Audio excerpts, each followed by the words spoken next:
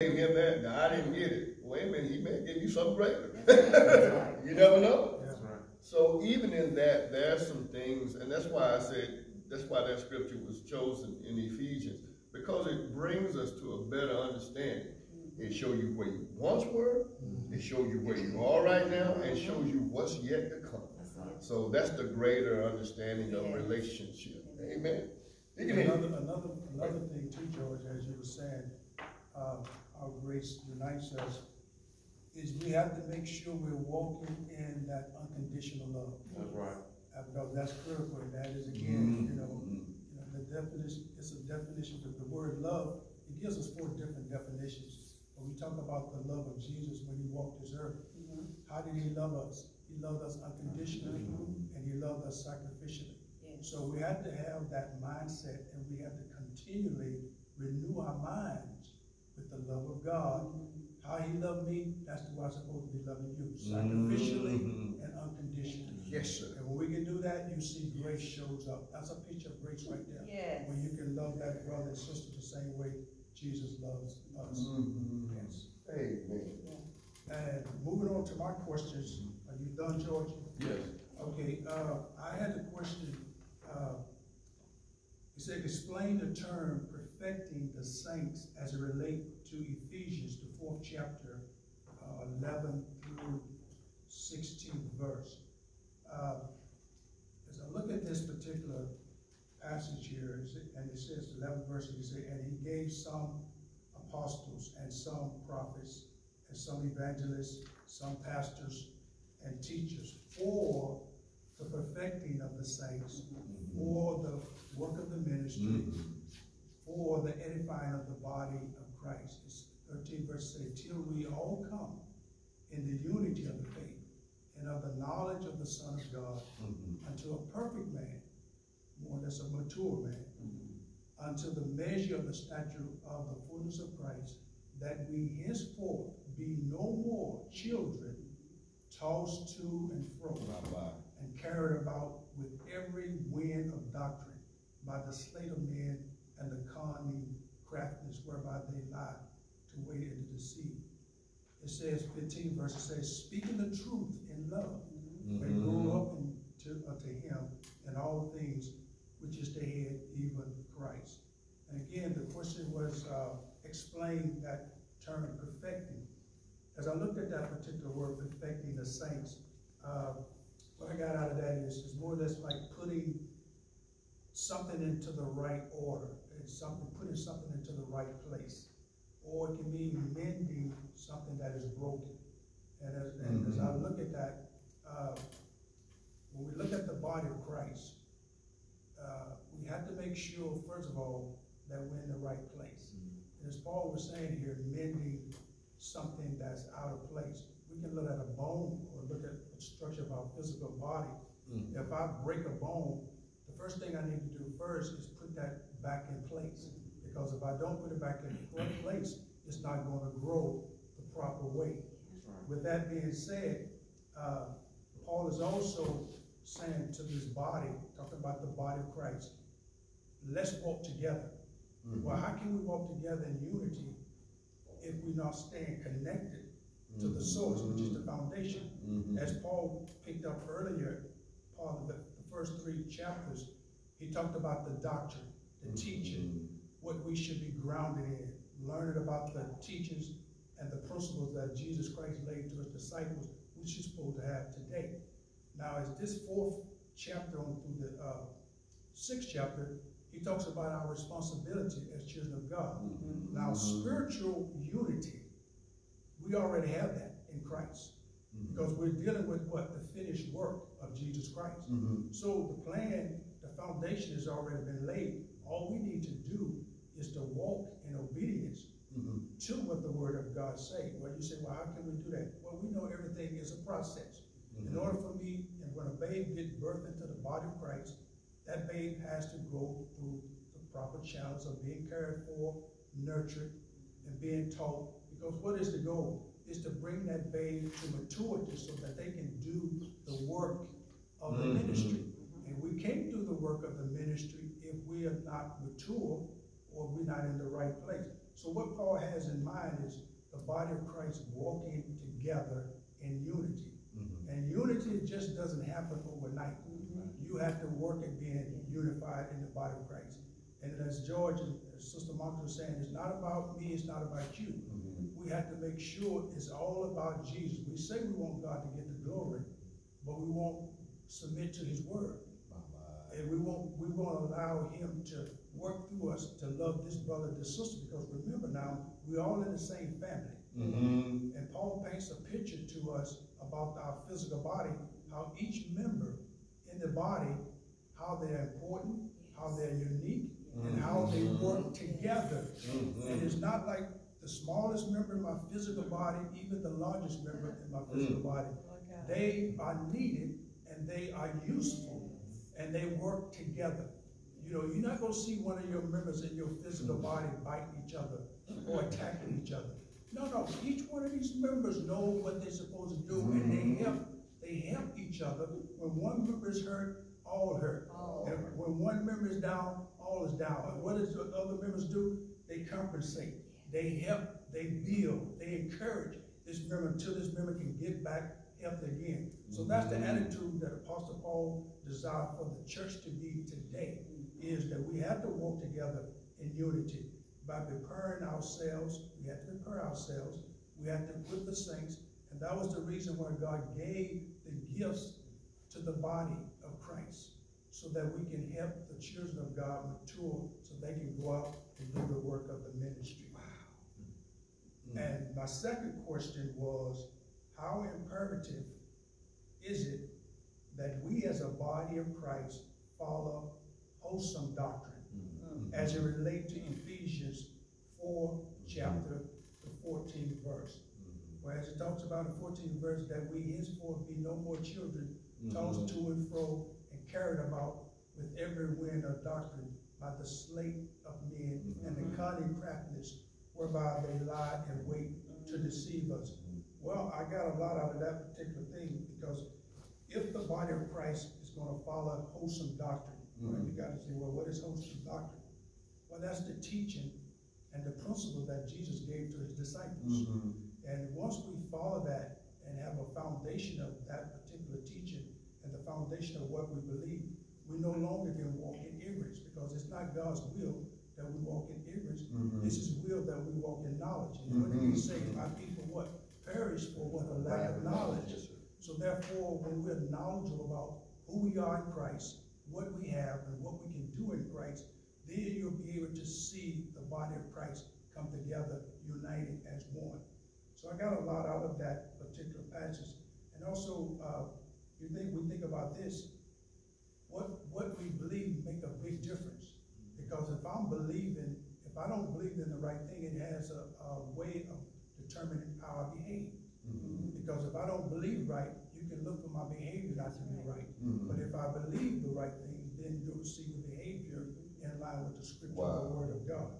So again, um, I thought these two very interesting questions here.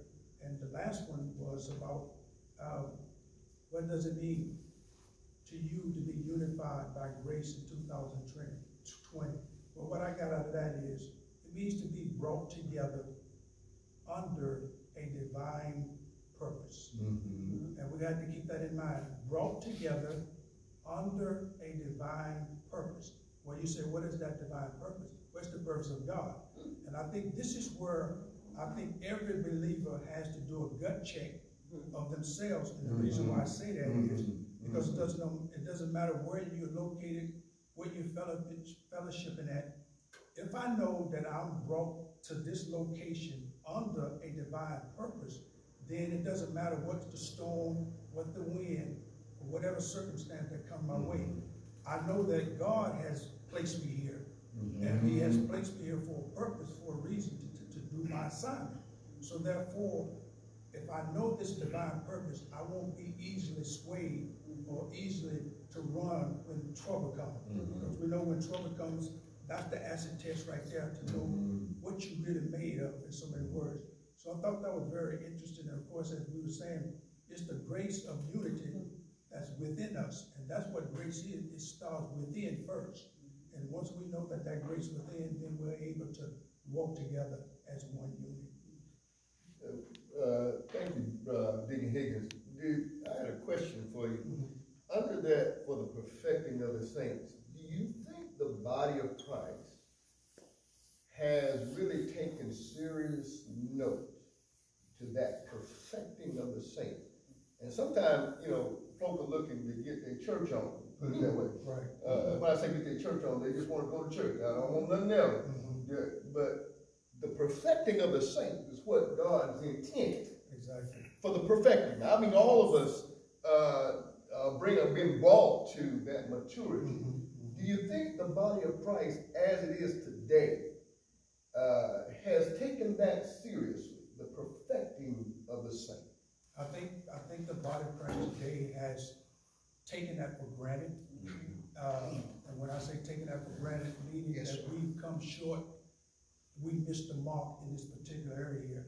Because see, this, in- in order for the body to walk together and to walk into unity, Yes, the saints has to be mature and they have to be able to grow in this particular area about perfecting the saints. We're talking about maturity here, and we're talking about people being in the right place, in the Oh, right order. And the gifts that God has given to the body, to his church, these gifts are not supposed to crash. Sir. They're not supposed to run into each other, even though you may have the same gift similar, but God has a way to take that gift to a different level where we don't run into each other. Mhm. So again, yes, the body of Christ, can say we've come short in this particular area, Mhm. but it behooves us though, now that we're knowledgeable of what things concerning the scripture here, that, that we don't take this for granted. We need to make sure that these babes that's coming to the body of Christ, that they get the right nurture, the right teaching. Because think about this, physically, when a baby is, is first born, that baby doesn't even know they're in the world. So that baby has to be nurtured, has to be taught, and it has to grow. It's the same way spiritually. You think because a person comes to Jesus Christ spiritually, that they know spiritual things?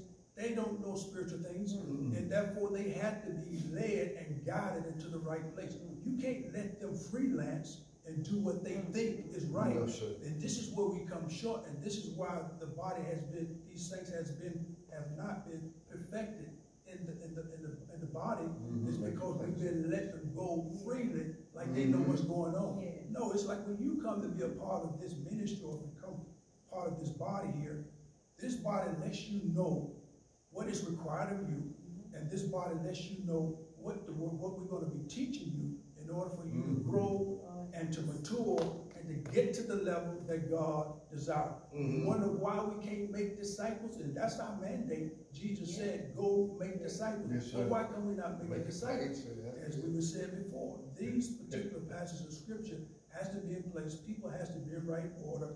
We have to know what our gift is, because that's the reason why God sent the gifts Mhm. for the body of Christ, that they may be edified, lifted up, so that we can perfect them in the, in the ministry. Oh, Lord. I think as, as, you, uh, just in response to that question, Pastor, I think, uh, a lot of times the church has gotten off focus. And so we're not thinking about perfecting because we're focused, the church is, is focused on the wrong thing. They focused on numbers. Yes. Mhm. They focus on making, uh, little g gods Yeah. in, in the church. And they are missing, uh, getting back to the basics of this word of God.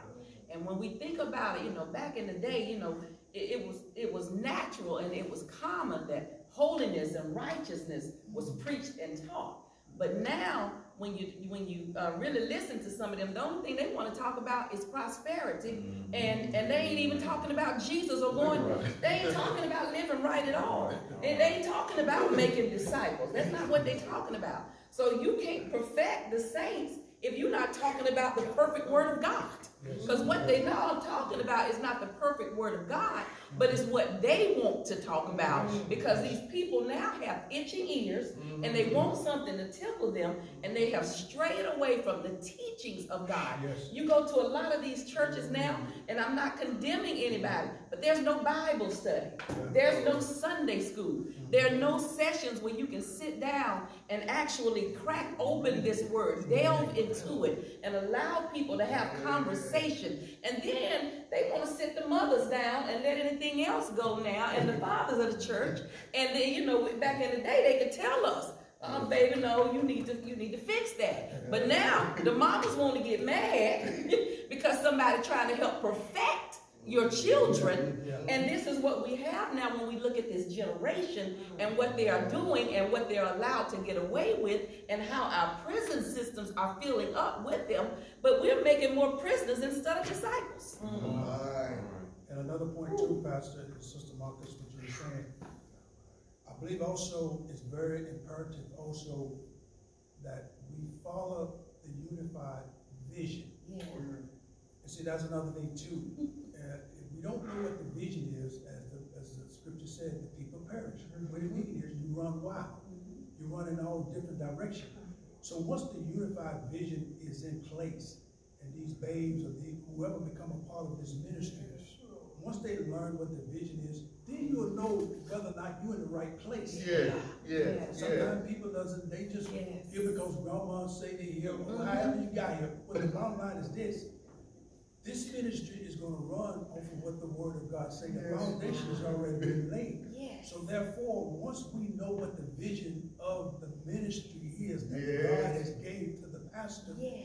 then we can walk in line. And we start with the leaders first. Oh, Yes, Lord. Now, once the leaders are walking in line with that vision, then you're gonna see the other herd follow that's right. Oh, let's fall, fall. It's not gonna be like this group was walking here, or this group is in that order. No, we're walking in the same direction. This is the Yeah. vision of the house. Just like your home, ain't for one vision. Right. Mhm. And in Right. any corporate America business, one vision. Yeah. In the house of God, one vision. If you don't have one vision, you got division. That's right. Yes. And that's where it comes in at, brothers, and that's where I believe it affects us.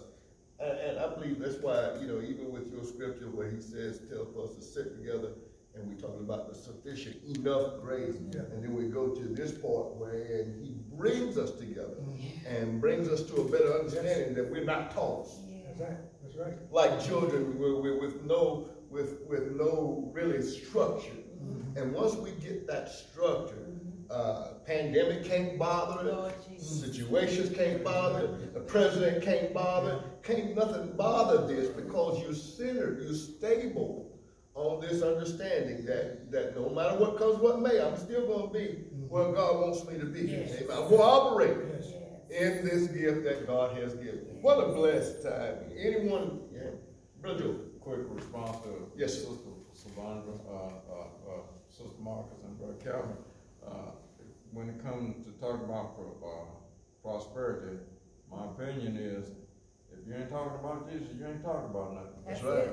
Prosperity is, is for the flesh. Jesus is about spirit. This flesh is gonna die one day. Yes, Yeah. The spirit goes on. That's right. And Brother Calvin brought up, brought, brought up one good word, uh, Mm. taking it for granted. Mm-hmm. Uh, think about relationships. Somebody that you hadn't seen, that you love very much, uh, you hadn't seen them in a while, and then they show up and how glad and happy you are to see them and whatnot.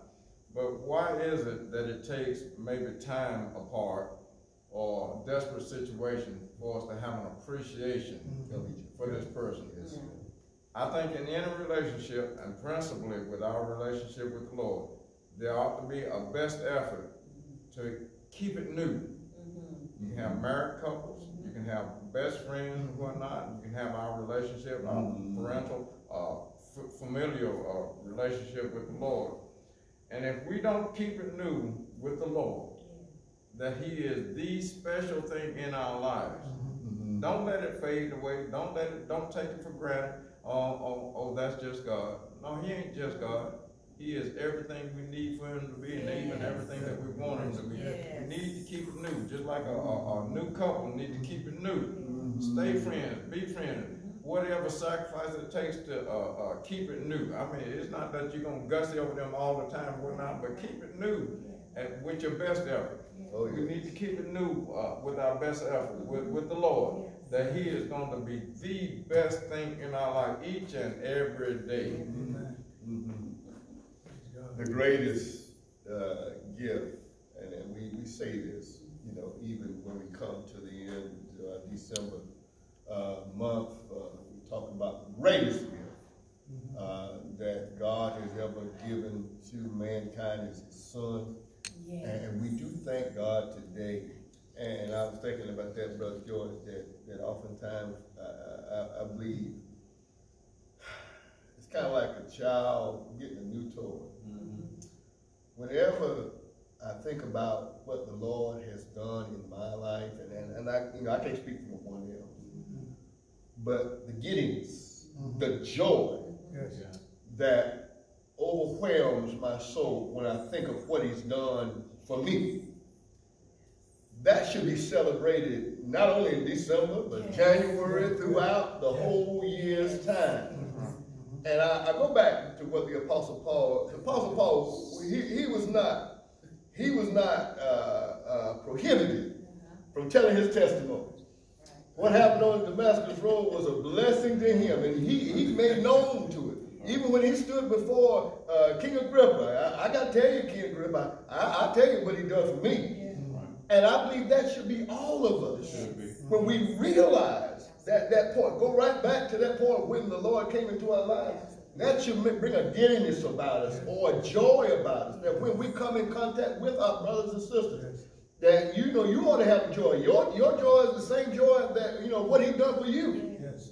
But when he's done, what he's done for me, I believe it should not, we shouldn't wait to December the 25th That's right. to, to uh, allow us to come to an understanding of what we've got throughout the year. God's been good to us. Yes. Down through this year with sufficient grace, bringing us together, Yes. understanding that I'm, I've got something to keep y'all together. Yes. And what keeps us together is that common understanding that the Word of God can keep us, even when pandemics come and all the other situations trouble our lives.